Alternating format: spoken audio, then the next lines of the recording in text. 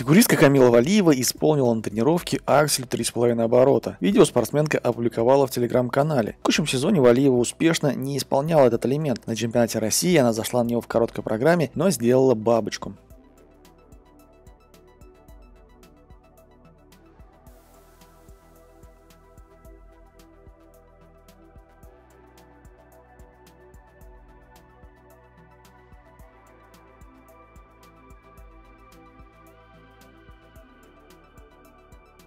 Экс-фигуристка, тренер Катарина Гербальд высказалась о решении российского антидопингового агентства РУСАДА по делу фигуристки Камилы Валиевой. Дисциплинарный комитет РУСАДА признал Валиеву невиновной в допинговом нарушении, но аннулировал ее победный результат на чемпионате России 25 декабря 2021 года. Новым победителем турнира должна стать Александра Трусова. Трусовой хотелось бы какого-то признания, чтобы ей вручили титул. С другой стороны, это же было так давно, что становится уже непонятно, а зачем это делать? Получается, что и другим спортсменам должны вручить их медали, считает Катарина Гербальд. Может провести вручение тогда тихо и спокойно, чтобы никак не обидеть Валиеву? Тут скользкий вопрос. У нее забрали титул чемпионки России, но обиды не должно быть. По идее, она не должна была тогда ехать на Олимпиаду, но она поехала и с каким-то титулом хотя бы осталась. Очень обидно сейчас Лизе Туктамышевой, которая должна была ехать на Олимпиаду. Она же могла что-то занять, что-то выиграть, но ничего не вышло. Ей должно быть обидно. Было бы правильно, чтобы сама Валиева отдала Трусовой золотую медаль. Это было давно, так что не имеет значения, есть ли медаль у Трусовой. Все знают, что ей принадлежит этот титул и звание чемпионки России. Это самое главное, сказала Гербальд.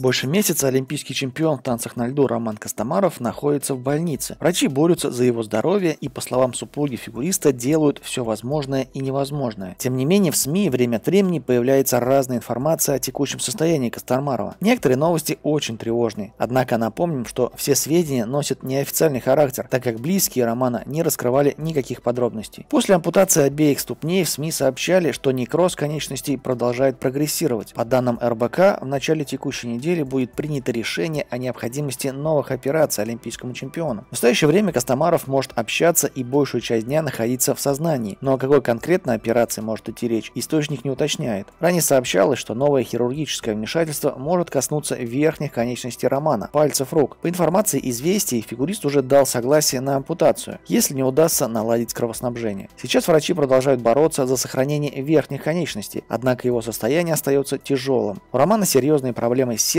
и сосудами. Об этом сообщал Пятый канал. Несмотря на это, Костомаров постепенно учится дышать самостоятельно, а двукратный призер Олимпийских игр по конькобежному спорту Иван Скобрев добавил, что фигурист даже пытается встать. В больнице его все чаще и чаще приводят в сознание, а врачи занимаются с Романом лечебной физкультурой, но сам он толком говорить не может. Он шевелит губами, пытается вставать, ворочается. Его жена Оксана Домнина навещает Костомарова каждый день, сообщил Скобрев в интервью НТВ. Костомарову предстоит долгая реабилитация, и ему уже готов готова помочь его коллеге. В феврале стартует ежегодный всероссийский тур ледникового периода поддержку олимпийского чемпиона. Об этом сообщил продюсер проекта Илья Вербох. Этот ежегодный уже 19-й всероссийский тур мы, как обычно, планировали сильно заранее, еще в прошлом году. Но жизнь несла очень тяжелые коррективы, сказал Илья Вербух. Мы решили изменить свои планы и бросить все силы на то, чтобы этот тур прошел в поддержку Ромы. Для нас это не развлекательное мероприятие, а объединяющие гастроли, которые должны сплотить всех нас. Рома – часть нашей ледовой семьи, мы прошли вместе огромный путь длиной в 19 лет, в течение которых были тысячи выступлений на различных площадках перед любимым зрителем. Семья – это семья, и в семье люди должны поддерживать друг друга. И мы со своей стороны постараемся всесторонне поддерживать Романа и его семью как морально, так и материально. Уверен, что зрители, которые придут на наше выступление, смогут передать свою энергию любви и показать, что он не один, что мы все вместе, приводит слова Авербуха, пресс-служба тура «Ледниковый период» снова вместе. Сегодня заслуженному тренеру СССР Татьяне Тарасовой исполнилось 76 лет лет. С днем рождения в соцсетях ее поздравили коллеги и фигурист Татьяна Нав. Дорогая Татьяна Анатольевна, с днем рождения. Как показывает время, самое главное, что можно пожелать человеку, это здоровье. Долгие и благие лета, Татьяна Анатольевна. Вы для нескольких поколений фигуристов легенда и незабываемый авторитет, мнение которого очень дорого и ценно. Очень приятно было видеть вас в новогодние праздники среди зрителей нашей новой сказки на льду. Аделина Сотникова. Дорогая Татьяна Анатольевна, поздравляю вас с днем рождения, желаю вам крепкого здоровья, терпения на все. Спасибо вам за все, что вы однажды сделали для моей семьи. Спасибо за поддержку и веру в меня. Я вас очень люблю и благодарна за все. Евгений Плющин, спасибо за вашу дружбу, ценю, безмерно уважаю. Станислава Константинова, дорогая Татьяна Анатольевна, от всей души поздравляю вас с днем рождения. Анастасия Зинина, великая Татьяна Анатольевна, поздравляю вас с днем рождения. Софья Муравьева, Татьяна Анатольевна, с днем рождения, здоровья и всего самого лучшего. Максим Марин, с днем рождения, уважаемая Татьяна Анатольевна, крепкого здоровья, с большой любовью и уважением. Анна Щербакова,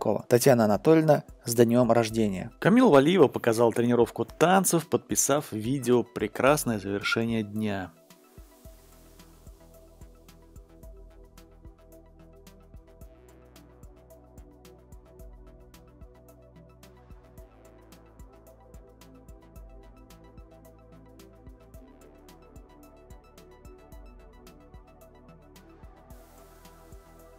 Елена Чайковская рассказала о задачах главного тренера сборной России по фигурному катанию. Я третий раз главный тренер сборной России за всю историю моей тренерской работы. Сейчас я приняла очень сильную сборную. Бывали времена, когда было и хуже. Сейчас у меня в руках очень сильная и интересная по составу команда. Я надеюсь, что они и дальше будут идти и показывать, что такое наше российское фигурное катание. А в чем сила нашей сборной? Сила в изобретательности, сила в идеях, сила в открытиях, потому что очень многие элементы подходы к программам были здесь созданы. Россия всегда отличалась удивительной изобретательностью, идеями, музыкальностью, прекрасными постановками. В этом наша сила, и она остается. А в чем заключается работа главного тренера? Все-таки индивидуальный вид спорта, у каждого свой личный тренер, тренерский штаб. Главный тренер смотрит за всеми спортсменами, которые являются членами сборной команды. И моя задача – помочь, увидеть, где-то подсказать, где-то чуть-чуть поменять направление. На тренировках тренер обязан создавать атмосферу, в которую хочется всегда приходить. У нас тяжелый вид спорта. И когда все говорят, как вы красиво катаетесь, легко, в легких платьях с цветами, нет, у нас очень тяжелая работа. И чтобы эта тяжелая работа не превращалась в такой страшный труд, когда не хочется туда идти, задача всех тренеров и особенно меня создать атмосферу заинтересованности, открытий, новых элементов. У меня получилось. Когда у спортсмена это происходит, он сам хочет идти вперед. Вот это создание общей заинтересованности. И самое главное, спортсмены должны доверять мне, доверять своим тренерам, что мы никогда их не предадим, никогда не сделаем что-то, что было бы им во вред. Они должны знать, что мы за них. Это наши дети, наше творчество, что они с нами, а мы с ними. Вот это главный тренер, сказала Чайковская. Член Международного олимпийского комитета МОК, олимпийский чемпион 1976 года француз Гидрю выступил за возвращение российских спортсменов на международную арену. Нет никаких причин лишать российских и белорусских спортсменов участия в международных спортивных мероприятиях, особенно когда речь идет об Олимпийских играх. Я считаю, как и многие члены МОК, что политика не должна вмешиваться в вопросы допуска спортсменов к соревнованиям. Спортсмены готовились к Олимпийским играм годами, и для некоторых это будет единственная возможность принять участие в таком мероприятии. Что думает Эммануэль Макрон и что думает Ан Идальго, мэр Парижа, это их проблемы. Решение будет принимать МОК после консультации со всеми членами МОК и президентом международных федераций, заявил Дрю в эфире радиостанции France Info.